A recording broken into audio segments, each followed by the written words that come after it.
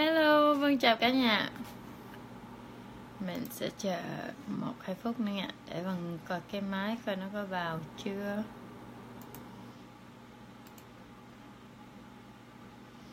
Ừ pa,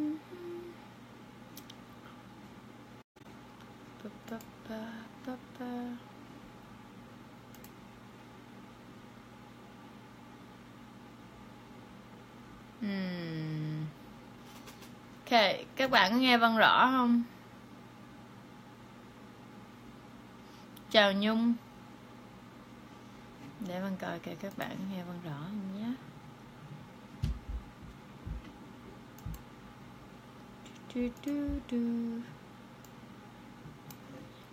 À, các bạn nghe Vân rõ không? Nghe rõ, rõ bấm dùm Vân cho rõ dùm nhé. Hello, hello. Ờ. Ok Rồi, Vân nghĩ chắc ok rồi.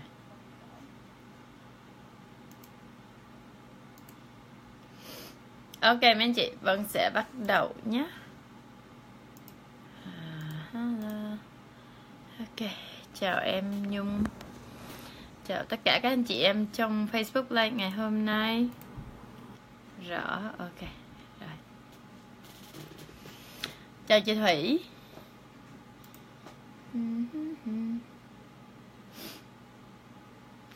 Ok, rồi mình bắt đầu nha. À, Hôm nay thì Vân đang ở tiểu bang New Jersey. Vân không có ở nhà. Vân đang đi làm việc cho nên là mấy đài cũng khá là bận. À, Hôm nay mới rảnh được chút xíu lên uh, Facebook với mấy anh chị. Hôm nay Vân sẽ nói về cái đề tài là bắt đầu như thế nào? À, làm cách nào để mình bắt đầu cái đường tu của mình? Có khá là nhiều bạn nhắn tin cho Vân là nói chị ơi em nghe những cái video clip của chị. Em à, rất là thích. Thì bây giờ em phải bắt đầu tu như thế nào? Và tu như vậy có đúng hay không? Hai câu này Vân nghe và lặp đi lặp lại rất là nhiều. Thì hôm nay Vân sẽ mượn hai cái câu hỏi này để trả lời để làm một cái đề tài thì trước hết Vân tự giới thiệu Vân tên là Vân Võ đến từ Tampa, Florida. Hiện bây giờ là đang đi công tác ở tiểu bang New Jersey. Um, Vân ở Mỹ cũng được uh, cũng khá là cả, lâu rồi hai mươi mấy năm rồi. Um, và Phật pháp đến với mình một cách rất là tình cờ. Mấy chị như mấy chị có nghe những cái video trước á Vân chia sẻ đó thì đến với mình rất là tình cờ và mình không phải nói pháp mình không phải là quý thầy. Những cái kinh nghiệm gì của mình đã từng trải qua cuộc đời của mình nó nó nó nó um, bế tắc cỡ nào thì mình nhờ Phật pháp mà thoát ra được. Uh, và những cái kinh nghiệm của Vân Vân biết tới đâu thì Vân hướng dẫn tới đó. Và Vân hy vọng những cái video này có thể giúp một ai đó à, có thể chuyển được cái nghiệp của mình có thể thay đổi được cuộc sống của mình. Bớt đau khổ à, dìu dắt mọi người vào cái đường tu mấy anh chị để mình thoát ra khỏi cái địa ngục trần gian này để mình có thể đạt được cái cảnh giới an lạc. Và hơn thế nữa đó là mình sẽ cố gắng tu tập để được về cảnh giới tây phương cực lạc quốc trong một đời này mấy anh chị. À, thoát khỏi luân hồi sanh tử đó là cái mà vân mong muốn. Và vân mong muốn là tất cả anh chị em mình đều làm được cái điều đó. À, và nếu mình quyết tâm chắc chắn mình sẽ làm được. Mấy anh chị tính hạnh nguyện mình có thì chắc chắn mình sẽ làm được. Thì có à, cái mà làm vân rất là vui là à, có nhiều anh chị à, mình à, coi được những cái video clip của vân và muốn bắt đầu tu muốn bắt đầu à, trì chú đại bi bắt đầu ăn chay. À, nhưng mà không biết làm sao để để để bắt đầu và bắt đầu như thế nào thì hôm nay vân sẽ nói sâu về cái đề tài là bắt đầu như thế nào vào cái đường tu của mình. Um, mỗi người trong chúng ta ai cũng có một cái căn cơ riêng và ai cũng có một cái cái um, cái niềm tin riêng. À, vân không nói cái gì đúng cái gì sai mấy anh chị nhé.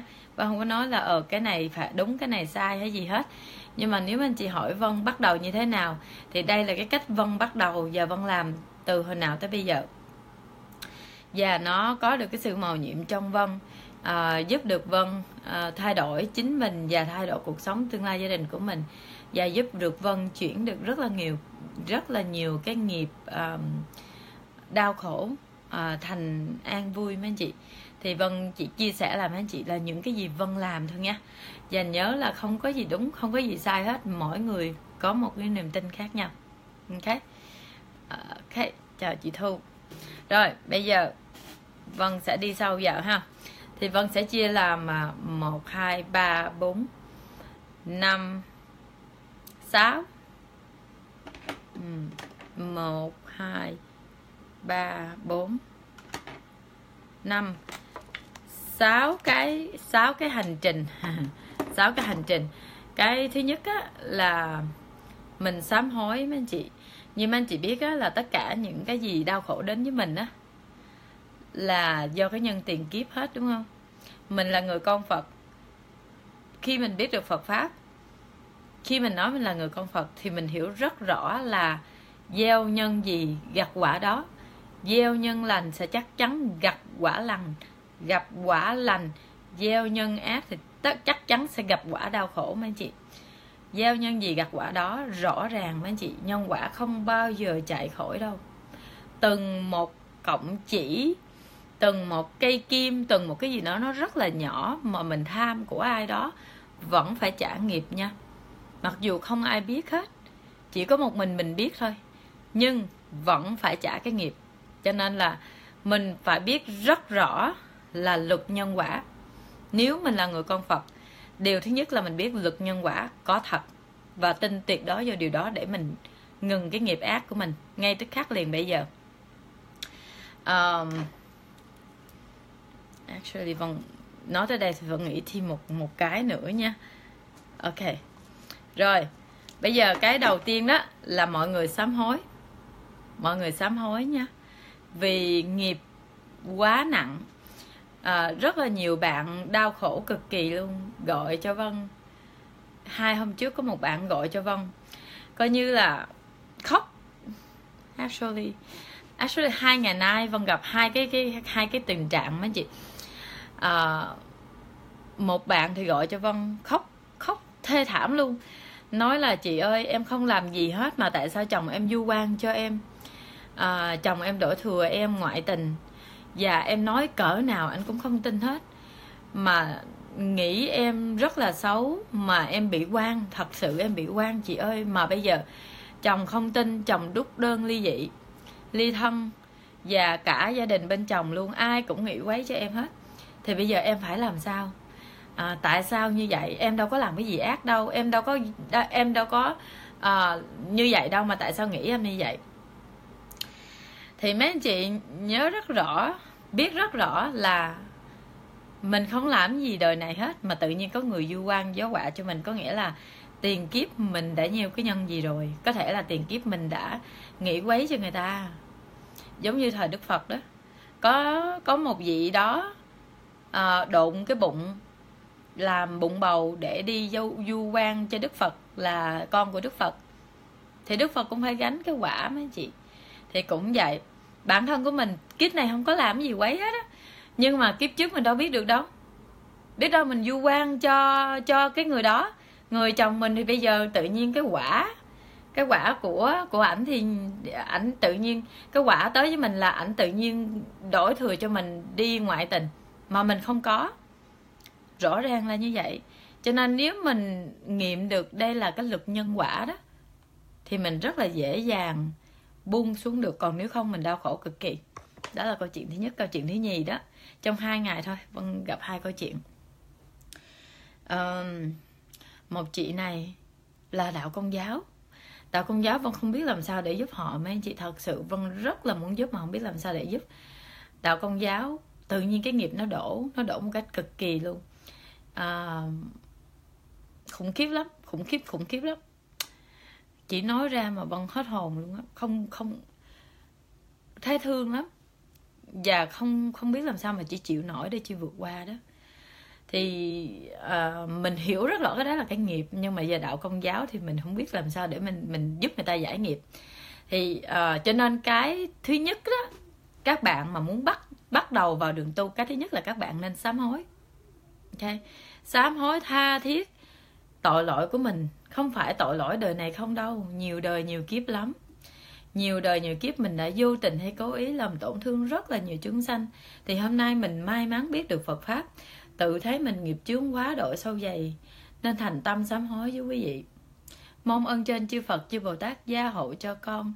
Được sám hối tất cả những tội lỗi của con và mong tất cả à, bạn Dương Hà các bạn nào có câu hỏi cứ bấm ở dưới giùm Vân nha chút xíu Vân sẽ trả lời những câu hỏi của các bạn nhé. Và mong tất cả các quán gia trái chủ của con cùng con kết pháp duyên làm bạn lữ cùng nhau niệm Phật cùng nhau hành trì để cùng vãng sanh về thế giới Tây phương cực lạc sớm ngày lìa khổ được vui đồng thành Phật đạo. Quan quan tương báo biết đến bao giờ mới hết? Duy chỉ nhờ nhân duyên này nỗ lực tu tập, đoạn ác tu thiện, cùng nhau khuyến khích, cùng nhau hành trì để cùng vãng sanh về thế giới tây phương cực lạc. Và chỉ có về thế giới tây phương cực lạc thì mình mới không còn đau khổ, chấm dứt luân hồi sanh tử thôi. Còn bây giờ bạn cứ làm khổ mình mình làm khổ bạn. Đời đời kiếp kiếp gặp nhau, quan quan tương báo hoài như vậy, ai cũng khổ hết, đâu có ai lợi cho nhau đâu đúng không? Thì bây giờ tại sao không cùng mình tu tập dìu dắt tu tập nhau để cùng thoát ra khỏi cảnh luân hồi sinh tử? Thì mình tha thiết tha thiết tha thiết sám hối mấy anh chị. Thì những quán gia trái chủ của mình á họ thấy với một cái tâm thành của mình á cái tâm thành biết lỗi rồi cái tâm thành uh, tha thiết sám hối thì sẽ động tới đọc mình với cái tâm tha thiết thì mình sẽ động tới ơn trên chư Phật chư Bồ Tát những long thần hộ pháp những những vị phước mặt phước mài họ sẽ gia hộ cho mình và kể cả những quán gia trái chủ nhiều đời nhiều kiếp của mình. Họ thấy vì cái tâm thành của mình họ sẽ ngộ ra. Mình vừa sám hối mình vừa khai thị cho họ thì họ sẽ ngộ ra là à, không muốn quan gia trái chủ nữa không muốn làm khổ các vị nữa thì cùng nhau tu tập và hỗ trợ nhau để tu tập. Thì cái đó rất là quan trọng trong bước đường đầu tu của mình mấy anh chị nhé. Sám hối sám hối và sám hối. Đó là cái thứ nhất. Cái thứ nhì đó, nếu như mà mấy anh chị đang gặp khổ, nếu như mình đang gặp khổ nha, khổ quá là khổ. Không không biết làm sao để để ra. Thì vân khuyên á, là mình nên trì chú đại bi để giải được cái nghiệp của mình. Lặp lại nha đây là những cái vân đã từng làm. Vân từng làm cho nên kết quả nó đến với vân. Thì vân chia sẻ với anh chị thôi nha. Chứ không phải cái gì đúng cái gì sai. Và đây là cái vân từng làm.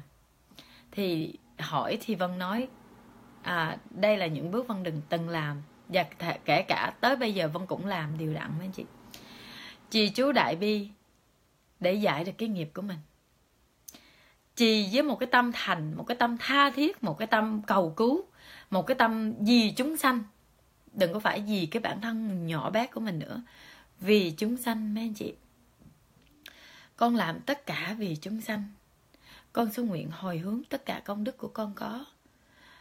Để cho chúng sanh được an lạc để cho chúng sanh được hạnh phúc. À, chúng sanh đó trong đó có mình mấy anh chị. Nhưng mà với một cái tâm tâm thành tâm tha thiết tâm à, vĩ đại gì mọi người.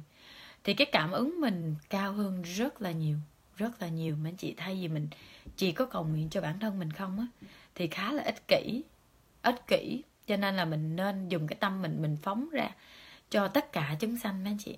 Thì khi mình phát nguyện như vậy đó thì nó sẽ chấn động tam thiên đại thiên thế giới thì mình sẽ có cái sự hỗ trợ. Vì có nhiều lúc cái nghiệp mình nó quá là nặng đi, cái tự lực mình không có làm được, tự lực mình không không thể trả nghiệp được, thì mình phải dùng tới cái tha lực mấy anh chị. Cái tha lực có nghĩa là chư phật, chư bồ tát, long thần, hộ pháp, những dịp phước mặt vất mài mà người ta có được cái cái thần lực, người ta sẽ gia hộ cho mình. Ok, đó là cái tha lực. Ok, so, thứ nhất là sám hối, thứ nhì là chỉ chú đại bi, tha thiết tha thiết và tha thiết, mãnh liệt. Vì chúng sanh mà trì, không phải vì bản thân mình, vì chúng sanh, vì tất cả mọi người để trì hồi hướng cho họ. Cái thứ ba đó là niệm phật. Vì mình muốn thân tâm mình thường an lạc, vì mình muốn chấm dứt một đời này vãng sanh về thế giới tây phương cực lạc, thì mình phải niệm phật tha thiết. Tha thiết niệm phật. Lúc nào đi đứng nằm ngồi nhất cử nhất động gì miệng niệm phật tâm niệm phật. Miệng niệm phật tâm nghĩ phật. Và lúc nào cũng có câu phật hiệu trong người hết. Thì không có những cái vọng tưởng uh, tiêu cực hay vọng tưởng xấu nó xuất hiện được mấy anh chị. Vì cái tâm của của quý anh chị đã phóng ra à, hướng về Phật rồi thì tất cả những cái cái cái mà xấu á, cái vọng tưởng xấu á, những cái mà à, bất lành á nó sẽ rất là khó đến với mình ok sở thứ ba là niệm Phật ha. Thứ tư đó là mình phải à, nó nằm hết trong thứ tư là hiếu dưỡng cha mẹ phụng sự sư trưởng. À, đi từ thiện đi phóng sanh cúng dường làm nhiều chuyện thiện làm rất là nhiều chuyện thiện. Bố thí làm phước cúng dường phóng sanh à, phụng sự cha mẹ à, sư trưởng những người mà mình mang ơn. Và cái kế tiếp nữa đó là cái số 5 á là mình phải nghe pháp mỗi ngày mấy chị. Phải nghe pháp mỗi ngày ít nhất một tiếng đồng hồ mỗi ngày. Tại sao? Cái tâm của mình á là nhiều đời nhiều kiếp mình rất là vô minh. Mình rất là uh, um, phải nói như thế nào?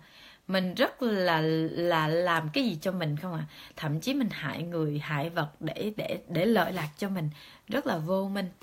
Cho nên khi mình nghe pháp đó bắt đầu mình hiểu được. Mình hiểu được rồi mình chuyển anh chị mình chuyển cái tâm của mình. Mình chuyển mình chuyển từ từ từ từ từ từ. Um, khi mình nghe pháp mình sẽ hiểu hơn nữa. Mình hiểu hơn tại sao mình cần phải làm. Và mình khống chế được cái tư tưởng của mình không cho nó chạy loạn vì một ngày nó phóng không phải một ngày đâu mỗi một giờ mỗi một giây mỗi một phút nó đều phóng tâm ra rất là nhiều và những tâm nó phóng toàn là những tâm bất thiện nhiều hơn là tâm tốt. Cho nên khi mình nghe phật pháp như vậy thì mình sẽ cột cái tâm mình được vào những cái lời kinh tiếng kệ cái um, uh, những bài pháp những bài pháp thì mình sẽ không có suy nghĩ tầm bậy tầm bạ và những bài pháp đó phải làm sao cho nó thấm nhuần trong người của mình. Và để rồi mình phải uh, uh, hành theo lời pháp nha mấy anh chị nhé. Chứ không phải nghe cái lỗ tai này rồi nó bắn rồi lỗ tai kia rồi nó quên mất tiêu. Nghe cũng như không nghe. Như như là nước đổ đầu dịch gì đó nước đổ lá môn gì đó. Không còn gì trong đầu hết trơn á. Và nghe mà không có hành á thì không bao giờ có kết quả cũng như không nghe thôi cho nên là nghe pháp mỗi ngày một tiếng và hành theo lời phật dạy mấy anh chị. Pháp đó là ngọn đuốc của phật đưa cho mình đó. Đốt đuốc mà đi, con ơi, ta không phải là người ban phước giáng họa cho con, mà ta chỉ có đưa các đưa các con cái ngọn đuốc để các con cầm đó mà tự soi sáng đường đi cho bản thân của mình. Chứ không phải đức phật à à cái bản gì? À ban phước cho mình đâu. Cái khổ, cái sướng, cái vui, cái an lạc đó là tự bản thân của mình hết. Nhưng đức phật đưa những cái bài pháp cho mình hành theo. Có nghĩa là những bài pháp đó là cái ngọn đuốc để cho mình cầm theo, để mình cầm mình soi sáng bước đường, từng bước chân của mình, từng bước chân tiến tới của mình.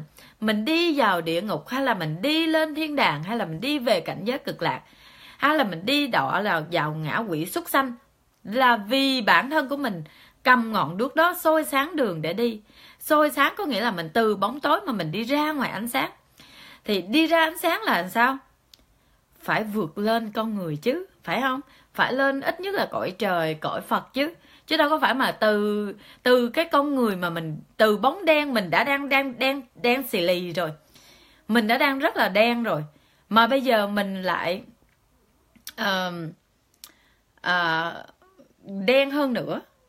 Đen hơn nữa có nghĩa là mình phải đọa địa ngục ngã quỷ súc sanh nó còn thấp hơn con người nữa. Thì thì đức phật đưa ngọn đuốc cho mình bằng những cái bài pháp để mình soi sáng con đường mình đi. Để khi mình soi sáng được mình thấy được rồi đó thì bắt đầu mình phải hành theo mấy anh chị. Chứ không phải mà cầm cái ngọn đuốc đó mà đứng đó hoài. Khi mình cầm ngọn đuốc đó mình cứ đứng đó hoài đó thì chắc chắn á ngọn đuốc nó sẽ không có giúp được gì cho mình hết. Và bản thân của mình sẽ không có bước được đi đâu hết. Và đứng tại chỗ, đứng tại bóng tối đó, hoặc là còn tệ hơn nữa. Đứng hoài thì có ngày nó gục luôn là là là còn thê thảm hơn nữa. Cho nên khi mình cầm được ngọn đuốc rồi, mấy anh chị ơi, soi sáng con đường mình đi. Từ bóng tối ra ánh sáng đi. Mình rất là may mắn hơn nhiều người dữ lắm vì mình hiểu được Phật pháp vì mình biết được Phật pháp vì mình tin được Phật pháp mấy anh chị có biết là trong pháp á à, trong trong kinh Đức Phật nói là người mà biết Phật pháp á là Phật ví như là một cái con rùa mù à, nổi lên mặt nước và gặp một cái cái cái cái, cái bọng cây á, một cái cây để ôm vào để bơi lẹ vào bờ á. mà cái con rùa à, con rùa con rùa mù giữa biển khơi. Con rùa mù mà giữa biển khơi mà trồi lên mặt nước một lâu lắm mới trồi lên mặt nước và trồi lên mặt nước mà còn ôm được cái khúc cây nữa là nó khó cực kỳ cực kỳ khó luôn chứ không phải dễ đâu. Mà mình là đức phật ví như vậy đó thì nếu như vậy là mình quá là đại đại đại đại đại đại, đại có phước rồi thì tại sao không có ôm cái ngọn cây này? Mình đã chụp được cái cái cây rồi đó. Thì lẹ lẹ đi, lẹ lẹ ôm, bơi nó vào bờ đi. Đừng có để nó ruột nữa. Nó mà ruột một cái đó là mình sẽ thả tay chìm xuống nữa, chìm xuống đại dương nữa. Và biết bao biết bao giờ mình mới nhô lên mặt nước và chụp được cái cái cây nữa mấy anh chị? Cho nên bây giờ là mình quá là may mắn, quá là may mắn. Và khi mình tu đó là mình phải quán nếu như con không thành đời này, là đời sau chắc chắn con sẽ bị đọa. Lúc nào mình cũng quán như vậy, quán chữ tử trên đầu. Kiếp này con quá là khổ rồi, con không muốn kiếp sau con khổ hơn nữa. Và nếu như không muốn kiếp sau khổ hơn nữa thì kiếp này đừng có để thời gian nó phí. Cố gắng đi, thời gian nào phí đó, thời gian nào rảnh đó anh chị nghe pháp nhiều hơn nữa, niệm phật nhiều hơn nữa, làm nhiều công đức hơn nữa. Đừng để thời gian phí, vì vô thường nó đến bất cứ lúc nào. Không có đợi mình già thì mới chết đâu. Không có đợi vậy đâu. Cho nên phải tận dụng từng giây, từng phút của mình mà tu mấy anh chị. Cơm áo gạo tiền mình cần phải làm. Nhưng không phải vì cơm áo gạo tiền mà bỏ đi cái đường cái đường thật của mình cái cái cái con đường thật của mình con đường tu tập à, là cái con đường thật. Cơm áo gạo tiền tất cả những xung quanh là giả mà mình ôm cái giả đó. Để rồi khi mình ra đi mình không đem một cái hành trang gì ra đi hết thì mình sẽ đi về đâu? Có phải là mình sẽ đi vào bóng tối nữa hay không? Cho nên là vân rất là muốn tất cả các anh chị em của mình đó vì mình may mắn biết được Phật pháp rồi, thì mỗi ngày mình tinh tấn và tinh tấn và tinh tấn hơn. Bắt đầu từ những bài pháp và sau đó hành theo những bài pháp. Công phu điều đặn sám hối mỗi ngày mấy anh chị nhé. Ok, rồi, trở lại nè. Sám hối trì chú đại bi, niệm phật, từ thiện phóng sanh, hiếu dưỡng phụ mẫu, làm những chuyện thiện ha. Cúng dường gì đó. Ok, và cái thứ năm đó là nghe pháp mỗi ngày ít nhất một tiếng đồng hồ và cái thứ sáu đó là mình tập bỏ buông tập buông bỏ bớt nó chị. Buông bỏ bớt nó đi. Đừng có ôm quá nhiều. Buông bỏ tham sân si. Buông bỏ coi nhẹ hết tất cả những những cái xung quanh mình đi. Cơm áo gạo tiền vợ đẹp con ngoan. À, nhà cửa xe đẹp nhà đẹp xe đẹp. Tất cả những cái đó mình coi nhẹ nó đi. Đừng có coi nặng quá mình sống trong đời nó là cái phương tiện. Nhưng mà đừng có quá chấp vào cái phương tiện đó để rồi khi mình ra đi đó mình sẽ bị uh, quyến liếng thì khi mình bị quyến liếng thì như thế nào? Khó mà siêu thoát. Khi mình khó siêu thoát á mình còn quyến liếng cái nhà mình còn quyến liếng đứa con mình còn quyến liếng gia tài sự sản của mình á khi mình không siêu đó thì mình sợ trở lại làm ngã quỷ, làm cái gì đó ở trong nhà đó nữa. Nên chị ghi gớm lắm, khủng khiếp lắm. Cho nên thời đức phật có kể những cái câu chuyện. Đức phật đi ngang cái nhà đó, thấy có một con chó, sủa ngài và ngài ngừng lại và ngài rờ đầu nói và ngài nói chứ, thôi, tại sao phải chấp vào nó làm chi vậy? À, đức phật cho con chó nó một bài pháp và nói là đi rồi thì đi đi siêu thoát đi tại sao phải quyến liếng làm chi vậy? Để rồi trở lại làm tội súc sanh trong cái nhà này để giữ để giữ nó. Thì khi đức phật khai thị cho con chó thì tự nhiên con chó nó nó ngã bệnh và nó không ăn uống gì hết. Thì đứa con về á à, sorry người chủ về đó người chủ mới nói tại sao con chó yêu quý của tôi mà tại sao bữa nay như vậy? Thì cái người ở mới nói là ờ ngài cù đàm đi ngang qua. Và ngài cù đàm nói cái gì với con chó đó mà tự nhiên con chó nó buồn cả buổi chiều vậy nó không ăn uống gì hết. Thì cái người chủ nhà đó mới đi hạch hỏi tội của đức phật tại sao ông nói cái gì với con chó nhà tôi? Thì đức phật nói á ngươi rất, rất là vô minh con chó này cũng rất là vô minh. Con chó này là cha của ngươi đó vì cha của ngươi đã chôn một mớ vàng ở ngoài sau, ở ngoài sau nhà ngươi. Ngay cái gốc cây đó. Cho nên, khi mà cha ngươi ra đi đó, chưa kịp nói, còn luyến tiếc cái đống vàng đó mà trở lại làm con chó để giữ cái đống vàng đó. Thì khi đó đó là con chó, nó hiểu được, nó nghe được và nó nó chạy ra nó nó sủa ngay chỗ cái đống vàng đó thì người ta bưới lên đào lên thì rõ ràng một đống vàng ở dưới đó. Sau đó thì đức phật khai thị và con chó nó chết con chó nó ra đi mấy anh chị. Thì mình không có muốn mình nằm trong cái tình trạng đó mấy anh chị nhé cho nên bây giờ mình tập buông bỏ đi. Um, không biết là các bạn còn nghe vân rõ không? Tự nhiên cái màn hình vân nó bị ờ, nó bị mờ đi có ai còn nghe văn rõ không? Bấm dùm văn chữ rõ nha. Không không muốn mình ngồi nói chuyện một mình. Ai còn nghe văn rõ không? Bấm dùm vân chữ rõ dùm nếu các bạn còn nghe vân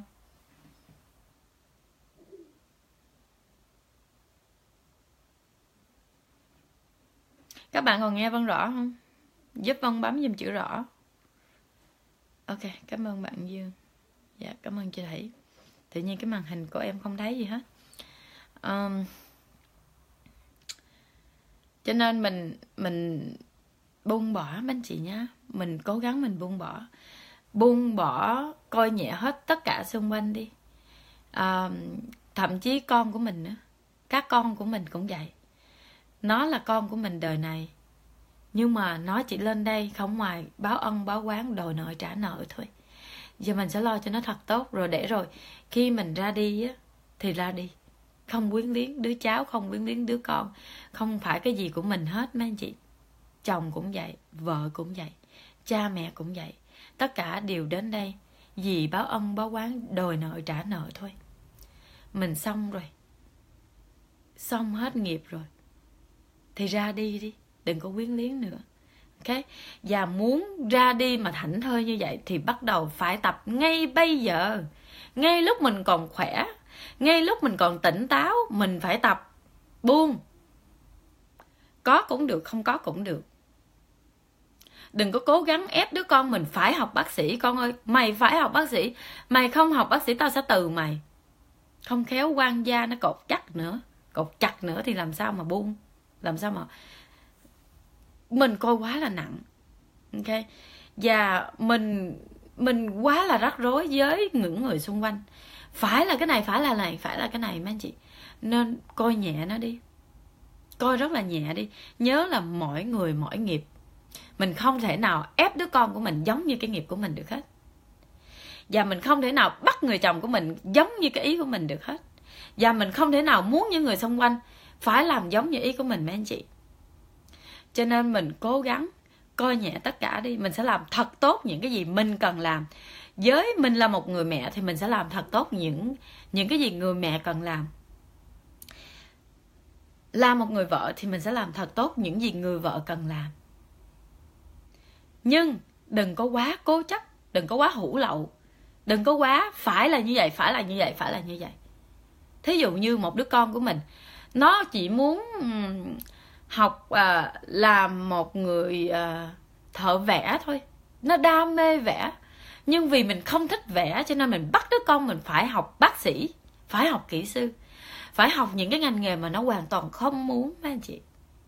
Mà mình ép nó vì mình là cha mẹ cho nên mình phải ép đứa con mình làm những cái chuyện nó không muốn.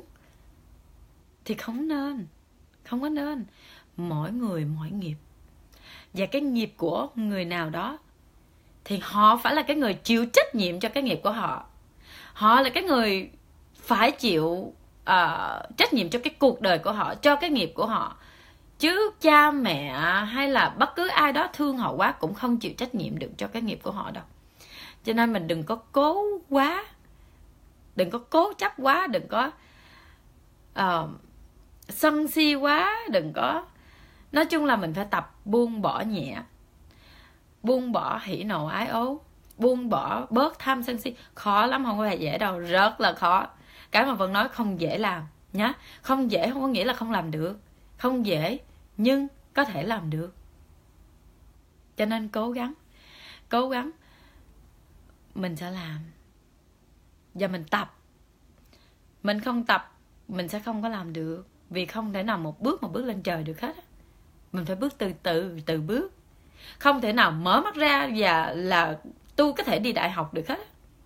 Mình phải đi học lớp mẫu giáo lớp 1, lớp 2, lớp 3 học từ từ từ từ từ từ lên. Chứ không thể nào mà mình, mình vừa mở mắt chào đời và mình vừa biết nói tiếng nói đầu tiên là mình nói mẹ con có thể đi học đại học. No way. Không có cách nào hết mấy anh chị. Cho nên tập tập và tập từ từ, bỏ từ từ, bỏ từ từ, buông từ từ. Mà nó sẽ cứu được cái huệ mạng của mình sau này, mấy anh chị nhé. Đó là điều thứ sáu. Điều thứ bảy, vì mình thật sự là người con phật, vì mình thật sự là người tu hành, vì mình thật sự muốn chấm dứt nghiệp của mình, cho nên cố gắng ăn chay. Vân nói đi nói lại rất là nhiều lần và vẫn tha thiết tha thiết tha thiết yêu cầu mấy anh chị cố gắng ăn chay đi. Để dừng cái nghiệp của mình đi, dừng cái nghiệp sát của mình đi. Vì cứ ăn mạng chúng sanh hoài mình ăn người ta thì kiếp sau người ta sẽ ăn mình lại. Những con con vịt, con gà, con heo, con bò, những cái chúng sanh đó cũng là người ta không đó. Người ta không đó, không phải là súc sanh đâu. Vì quá là vô minh. Ăn thịt người ăn thịt con đó, giờ làm con đó để cho người khác ăn thịt lại. Cứ ăn qua rồi ăn lại rồi giết qua rồi giết lại. Nợ máu, phải trả bằng máu. Nợ mạng, phải trả bằng mạng. Nợ tình, phải trả bằng tình. Nợ tiền, phải trả bằng tiền. Mình biết rất rõ điều đó. Và mình có thể làm được điều đó. Thì tại sao mình không làm? Và cái gì cũng vậy. Bắt đầu từ chuyện tập. Tập đi mình ăn không được nhiều ngày thì mình sẽ ăn à, một ngày trước một ngày, một tháng. Rồi lên hai ngày, rồi lên ba ngày, rồi lên bốn ngày. Mình tập. Thì chắc chắn mình sẽ làm được. Mấy anh chị cố gắng đi. Hôm qua có một bạn gọi vân. Bạn này à, khá là tu tập cũng, thời gian cũng khá là lâu rồi. Cũng rất là tinh tấn. Và nói, chị ơi, em rất là muốn ăn chay nhưng mà vì um, em bị nghịch duyên à, em bị um, chướng duyên của ông chồng. Ông chồng không cho ăn. Và ảnh làm khó em. Mỗi lần em em muốn ăn chay thì ảnh giống như tạo áp lực cho em vậy đó. Và ảnh hứa là 10 năm nữa ảnh cho em tu và ảnh cho em ăn chay.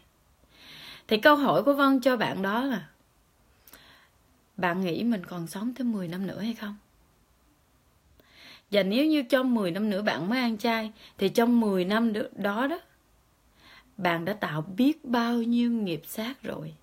Cái nghĩa địa của bạn đã chôn biết bao nhiêu cái xác trong này rồi. Thì bạn tu gì đây? Bạn tu cái gì mà bạn ăn mạng chúng sanh mỗi ngày? Một ngày ba bữa. Và một ngày thôi mình cũng là biết bao nhiêu nghiệp rồi, huống chi 10 năm nữa cho nên mình là người con phật. Mình phải có cái tâm từ bi. Tâm cho ra. Tâm hỷ xã tâm thương chúng sanh. Một con mũi, một con ruồi nó cũng có cái mạng sống và nó cũng có ham sống, chờ chết trong đó. Vì nó quá là nhỏ bé. Nó không kháng cự được mình, cho nên mình muốn đập, muốn giết nó, giờ nào mình giết. Nó không kháng cự được. Chứ không phải mà nó không muốn sống đâu, mấy anh chị ai cũng muốn sống hết. Con gì nó cũng mê sống hết, không phải không đâu. Bây giờ bây giờ hỏi mấy anh chị nè. Mấy anh chị có muốn con cọp nó nói với mình là người người dưỡng vật không? Nó có thể ăn thịt mình mà, đúng không? Nó dữ hơn mình. Cho nên mình gặp nó mình chạy gần chết luôn là tại sao? Mình sợ nó tổn thương mình mình sợ nó giết mình mình sợ nó ăn thịt mình.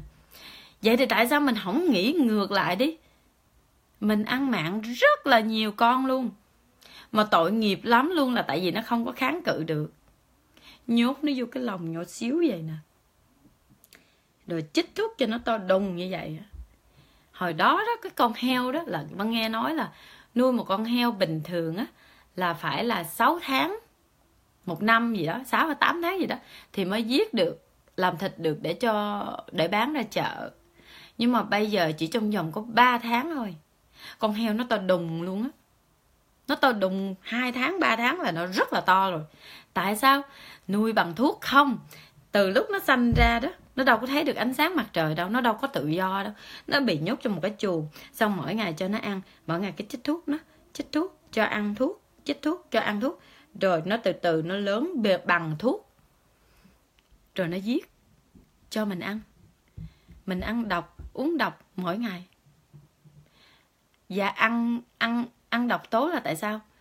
Khi các bạn ăn nó đó, khi các bạn, khi người ta giết nó đó, nó đâu có muốn nó đâu có muốn chết đâu, nó muốn sống mà.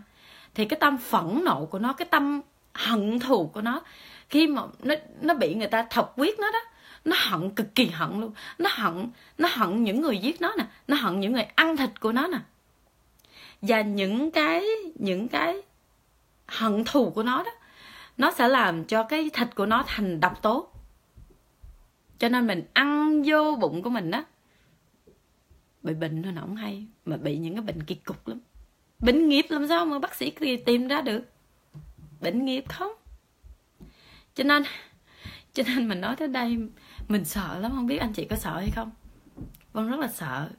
Khi mà vẫn nghiệm ra được á, ăn mạng chúng sanh chúng sanh ăn mạng mình. Cứ như vậy đó, làm sao mà siêu? Làm sao mà thoát? Hận thù nó chất chồng lên nhau. Tới khi mình đùng một cái mình bị bệnh, mình không biết mình bị bệnh gì. Và mình đau khổ cực kỳ luôn. Tại sao? Ăn quá là nhiều mạng chúng sanh trong người rồi. Thì bây giờ nó hành hạ mình thôi. Từng tế bào của mình nuôi, được nuôi dưỡng bằng mạng chúng sanh. Bằng cái chết của con heo, bằng cái chết của con bò, bằng cái chết của những chúng sanh nhỏ đó. Thì những cái tế bào của mình toàn là tế bào hận thù không à thì khi mà vào trong người của mình á, nó sẽ biến thành độc tố hết và những tế bào hận thù nó sẽ quật mình một cái là mình bệnh dễ dàng. Mà nhiều nhiều cái chứng bệnh kỳ cục lắm, lạ lắm mà bác sĩ không tìm ra. Tại sao? Tại bệnh nghiệp làm sao bác sĩ trị được? Chỉ có các bạn mới trị được thôi. Chỉ có mình mới tự trị bệnh cho mình được thôi. Vì sao? Vì mình là cái người tạo ra nó. Vì mình là cái người cột rồi chỉ có mình mới là cái người gỡ ra thôi. Bác sĩ là có gỡ, gỡ ra được đâu. Cho nên vân nói là nghiệp của ai người đó phải mang. Nghiệp của ai người đó phải gỡ ra phải phải giải. Bằng cách sám hối bằng những cái phương pháp mà vân vừa trình bày cho mấy anh chị đó. Nếu mình không làm không có ai cứu mình được hết dẫu có là cha con dẫu có là mẹ con, dẫu có thương anh chị cỡ nào đi nữa, cũng không có thể nào mà gánh thai cái nghiệp cho các anh chị được hết. Cho nên từng người của mình phải có ý thức điều đó để dừng cái nghiệp này. Chấm dứt cái nghiệp này. Nên chị, chấm dứt từ đây đi. Cố gắng trường trai cố gắng giữ giới và đừng có quên là mình là người con phật, mình phải quy y đi. Quy y mới vào cửa phật được. Mình tu tập mà mình không có quy y thì mình đâu phải là người con phật đâu, đúng không? Cố gắng đi quy y. Quy y để có cái pháp danh, để là cái tên của người con phật mấy anh chị nhé. Ok, rồi, đó là bảy điều mà vân vân khuyên cái người mới bắt đầu tu và kể cả bản thân của mình những bạn mà tu lâu năm rồi đó cũng phải nhắc nhở mình mỗi ngày nhắc nhở nhắc nhở nhắc nhở cả cuộc đời của mình luôn chứ không có phải là đây dành cho các bạn mới tu không đây nhé.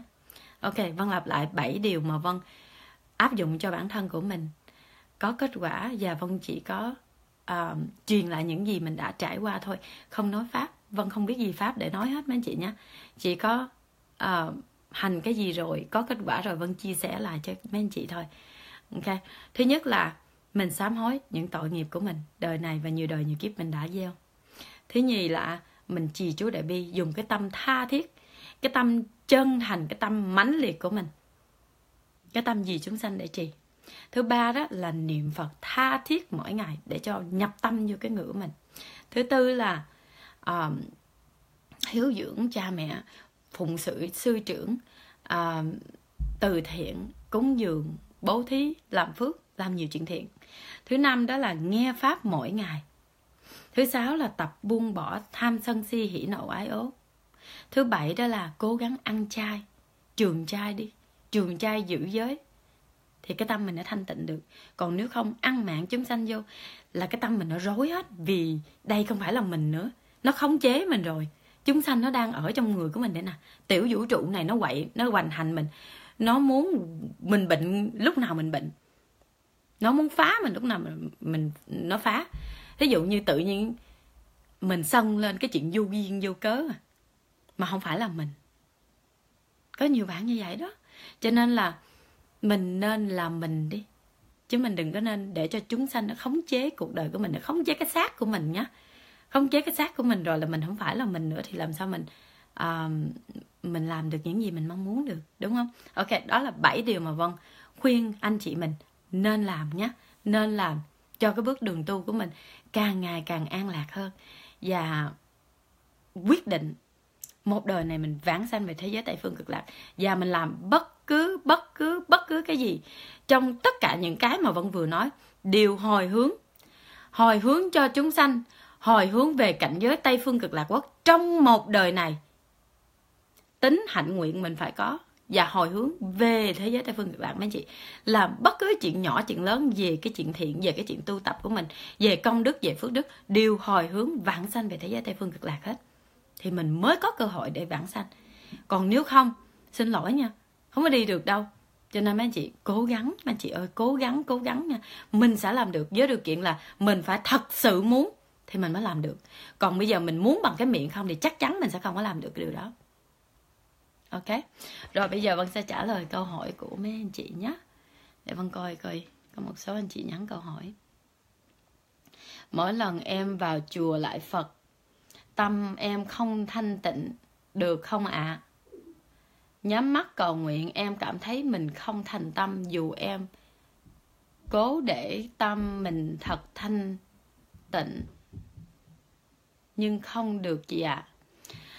khi mình mới tu đó, cái tâm mình không có thanh tịnh được đâu. Tại sao? Vì vân nói đó, cái xác này nè, cái đầu này nè, bị người ta khống chế hết trơn rồi. Mình ăn mạng biết bao nhiêu chúng sanh, biết bao nhiêu chúng sanh. Thì cái thân này, cái đầu này nè, cái người của mình á, là bị những cái con vật đó nó khống chế mình hết rồi. Mình sẽ không thanh tịnh được đâu. Mình không thanh tịnh được đâu vì người khác khống chế mình làm sao mình mình làm được những cái gì mình muốn được. Đúng không? Cho nên mình cố gắng tịnh được lúc nào mình tịnh. Và mình cố gắng mình tập tu.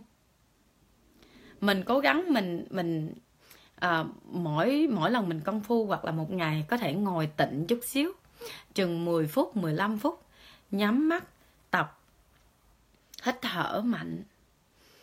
Hít vô a di thở ra đà phật hít vô a di thở ra đà phật mà mình cố gắng mình ngồi trong 10 phút 15 phút. Để mình cố gắng mình tịnh nó lại tịnh nó lại tịnh nó lại. Nhưng mình muốn cố mình muốn cái tâm mình thanh tịnh là mình phải uh, cố gắng làm bảy cái điều mà vân vừa nói đó. Từ bước từ bước từ bước một và phải cho nó cái thời gian mấy anh chị. Phải cho bản thân của mình có thời gian thì cái tâm của mình mới tịnh được.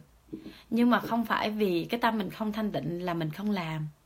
Mình vẫn làm, vẫn cầu nguyện, vẫn công phu, mặc dù cái tâm mình không có thanh tịnh. Nhưng khi mình làm một cái thời gian rồi đó, thì những chúng sanh mình ăn mạng của họ trong cái cơ thể của mình nè, từng tế bào một là mạng chúng sanh nuôi dưỡng cái thân này nè, thì nó sẽ thấy được cái tâm thanh tịnh, cái cái tâm tha thiết sám hối mấy anh chị. Cái tâm niệm phật, cái tâm biết hối lỗi rồi, thì nó sẽ từ từ nó cũng dịu đi. Và nó làm, nó hiền lại. Nó cùng tu tập với mình. Thì tự nhiên nó sẽ tha cho cái tâm của mình. Thì tự nhiên mình sẽ từ từ mình thanh tịnh, từ từ mình thanh tịnh, từ từ mình thanh tịnh. Mình phải cho mình có thời gian, cho nó có thời gian. Giờ mình phải làm phải làm thì mới có kết quả không có thể nào mà làm một lần, hai lần, ba lần, năm lần, mười lần mà có kết quả liền được hết. Mình phải làm tha thiết tha thiết, làm hoài làm hoài như vậy đó. Thì một ngày nào đó, mình sẽ tìm được những cái gì mình muốn. Mình sẽ độ được họ. Mình sẽ độ được mình. Mình sẽ độ được nhiều nhiều chúng sanh khác. Cố gắng nhé. Ok. Rồi, câu hỏi của bạn dương hà ok mỗi lần ăn chay thì chồng em nói no muốn cố gắng nhưng sao mà khó quá. Có rất là nhiều bạn nhắn là em cố gắng em muốn ăn chay nhưng mà bị cái sự um, uh, cái vấn gì? Bị uh, cái sự cản trở của chồng của những người xung quanh rất là nhiều đúng không? Và đó là cái nghịch duyên của mình đó nghịch duyên đó thì mình sẽ cố gắng. Mình đừng có gây gỗ. Mình cố gắng tập từ từ đi. Và bên cạnh đó đó mình làm những cái công phu vân vừa nói vừa nói thức thì đó thì mình sẽ hồi hướng cho người mà làm khó mình đó. Những người làm khó mình chồng mình vợ mình à, con mình những người mà cản mình không cho mình tu những người mà cản mình không cho mình ăn chay đó mình cố gắng mình hồi hướng cho họ đừng có gây với họ mấy anh chị. Nếu mà họ không cho mình ăn chay thì mình sẽ tập từ từ mình trong bữa ăn mình ăn nước cũng được mình ăn cơm với nước cũng được. Nước ở đây á xin lỗi mấy chị.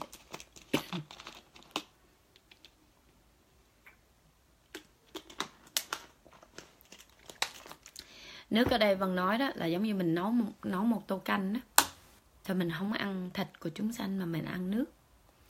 Ăn nước canh. À, trong một cái tô à, bò tô bò kho hay là cái gì kho thì mình sẽ ăn nước mình tránh ăn thịt. Mình sẽ tập từ từ mấy anh chị mình đừng có gây gỗ trong nhà. Mất hòa khí không không không có nên. Bên cạnh đó mình phải cố gắng cố gắng và cố gắng cố gắng để để mình uh, làm nhiều công đức hồi hướng cho những người làm khó mình. Tự nhiên chuyển à. Tự nhiên ơn trên sẽ chuyển họ, mấy chị.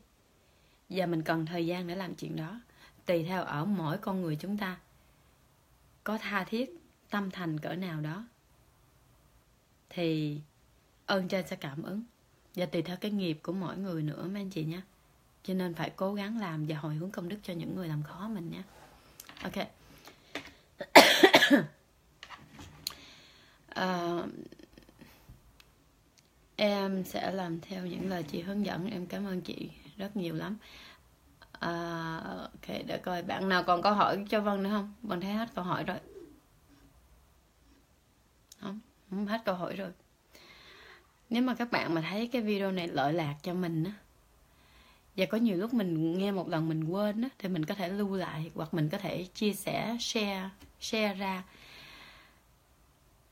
hy vọng là có lợi ích cho những người khác nữa. À, và đây là nếu mà mình làm được như vậy nếu mình có thể giúp được một chúng sanh mà ăn chay một chúng sanh niệm được một câu Phật hiệu gì đó thì mình cũng có công đức mấy anh chị. Cho nên mình chia sẻ để mọi để trí tuệ mọi người lan tỏa để mình có công đức hơn để mình uh, có thể giúp người khác. Ok? Ok các bạn thu câu hỏi là chị Vân ơi em chưa thật sự dành thời gian cho chị chú nhưng em rất thích nghe chú.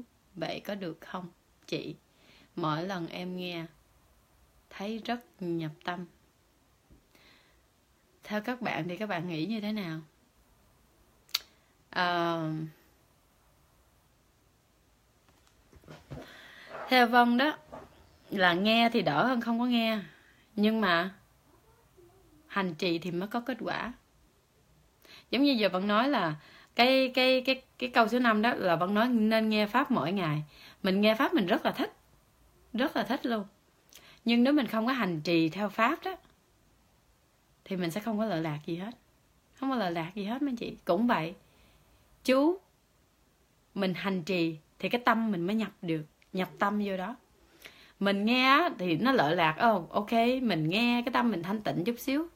Nhưng vì mình không có hành trì thì cái công đức mình không có. Mình nghe để cái tâm mình nó nhẹ nhàng xíu thôi nhưng mình phải hành trì thì mình mới có công đức đó anh chị nhé. Okay. em muốn ăn chay trường nhưng toàn bị sụt cân thôi chị. Trước đây vân cũng vậy vân ăn chay trường à, bây giờ vẫn ăn cũng mười mấy năm rồi. Mà trước đây lúc mà vân mới ăn đó là hai năm đầu vân te tu tơi tả luôn. Coi như là ôm nhôm ốm nhách mà xanh sao à, thiếu chất á vì thiếu chất á. À, ai cũng la ai cũng cản vì sợ vân bị bệnh. Nhưng mà bệnh thì nó đâu phải tự ăn chay bệnh thì cũng là bệnh nghiệp cũng là bệnh rồi. Nhưng mà cái vấn đề ở đây à, là sau này vân dùng thêm thực phẩm chức năng á cái mà vân đang dùng bây giờ thì nó giúp vân. Giống như vân làm việc khá là nhiều nhiều giờ lắm. Cả đêm hôm qua vân không có ngủ đó, mấy anh chị có tin không? Mà bây giờ vân vẫn vẫn có thể nói chuyện được. Vẫn có thể, hôm qua là vẫn thức là chắc bây giờ, tới bây giờ là chưa ngủ là chắc ừ, không biết mấy chục tiếng rồi nữa. Và bây giờ vân đang đi làm việc ở tiểu bang khác và cả tuần nay không có ngủ nhiều, chỉ có ngủ mấy tiếng thôi. Nhưng mà người ta hay nói là ăn chay thiếu chất và ăn chay mất sức, đúng không? Nhưng mà vân có thể làm việc nhiều hơn những người ăn mặn. Vân có thể có sức nhiều hơn những người ăn mặn đó. Các bạn tin không? Vì sao? Vì vân dùng thêm thực phẩm chức năng. À, vân biết những cái nào tốt cho cái tế bào của mình tốt cho cơ thể của mình. À, thì mình dùng thêm để hỗ trợ vì mình biết mình không có đủ chất đâu. Chắc chắn sẽ không đủ chất trong người. Thậm chí các bạn ăn mặn cũng vẫn không đủ chất nha. Đừng có nghĩ là ăn mặn là đủ chất. Không có đâu còn thê thảm hơn những người trai nữa đó. Vì ăn mặn là cái bệnh nghiệp đó. Sau này mấy các bạn bệnh nghiệp còn thê thảm hơn những người trai nhưng vân dùng thêm thực phẩm chức năng mấy chị. Ok rồi. Nếu mà ai có câu hỏi về cái đó thì nhắn cho nhắn cho vân sau nha. Vân có có dùng một số vân có thể hướng dẫn mấy anh chị về cái bên thực phẩm chức năng. À, chị ơi câu hỏi của em trên kìa chị. Câu hỏi của dương hà. Câu hỏi dương hà có thể đánh đánh đánh đánh lại giùm vân nha. Nhắn tin lại vân không thấy được ha. À, mọi lần ăn trời à, còn ai có câu hỏi nữa không?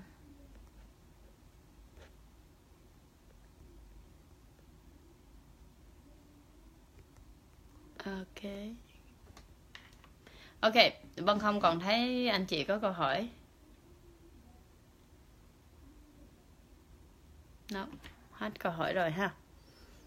Ok mấy anh chị thì vân cũng sắp hết giờ rồi cho nên vân sẽ à, kết lại cái cái cái cái bài live của vân hôm nay đó. Là cho những anh chị mới bắt đầu về đường tu.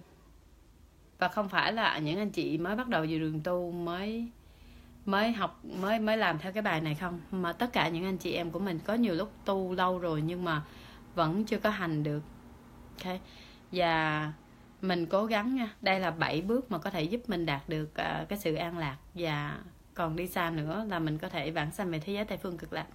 Thứ nhất là sám hối tội lỗi của mình. Thứ nhì là trì chú đại bi. Thứ ba là niệm phật. Thứ tư là làm tất cả những công đức thiện thứ năm là nghe pháp mỗi ngày thứ sáu là tập buông bỏ tham sân si hỉ nộ ái ố trong người của mình. Thứ bảy là ăn chay ok đó là bảy bước mà có thể giúp mình hỗ trợ cho cái đường tu của mình hỗ trợ cho cái đường an lạc của mình. Và vân tin chắc nếu mà các bạn thật sự muốn đó thì mình chắc chắn mình sẽ làm được. Còn nếu mà các bạn muốn từ cái miệng thôi đó và uh, hay kiếm cái cớ đó. Tại vì bởi thì là đó, thì chắc chắn kết quả mình sẽ không đi tới đâu hết.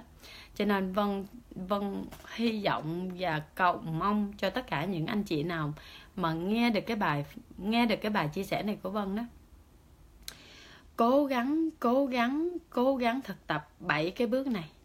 Vân không có nói dễ đâu, khó lắm, cực kỳ khó luôn. Nhưng mà vân biết là vân làm được thì tất cả anh chị em mình sẽ làm được cái điều đó vân biết điều đó luôn đó. Với điều kiện mình phải thật sự mình muốn. Mình muốn, mình quán cái chữ khổ nó to đùng á. Mình quán là nếu mình không làm bảy bước này, thì cuộc đời của mình nó nó sẽ đọa địa ngục. Nó sẽ thê thảm hơn bây giờ nhiều lắm lắm lắm lắm lắm lắm luôn. Cho nên mình cố gắng nha, sợ đi. Biết chữ sợ đi. Coi như là con chó dữ, nó sắp cắn mình nếu mà không chạy đó. Mình dồn mình vào đường cùng rồi đó thì mình mới nhảy được hàng rào cao. Còn bây giờ á, mình cứ xịt xìu ảnh ẩn cứ nay nai bệnh mai đau mà cứ đủ cớ hết trơn á, thì chắc chắn mình sẽ không có làm được bất cứ cái gì hết mấy anh chị. Cho nên, đừng có đừng có tìm cớ, tìm cách đi nha. Vâng biết là khó vâng biết ai cũng nghèo thời gian hết, nhưng mà cố gắng tìm cách nó sẽ có cách. Cố gắng tìm thời gian nó sẽ có thời gian. Còn bây giờ không cần kiếm cớ đâu, cớ nó nó nó sẽ xuất hiện ngay tức khắc trong đầu mình liền. Vì trong người mình đầy hết những cái những cái chúng sanh đang cản cản đường tu của mình nè. Ok, mà mình không thắng nó là chắc chắn mình sẽ thê thảm. Vì sao? Vì nó đang chờ mình, chờ cơ hội để nó báo thù đây nè. Cho nên cố gắng nhé. Ok, mấy chị? Rồi, vẫn sẽ tạm ngưng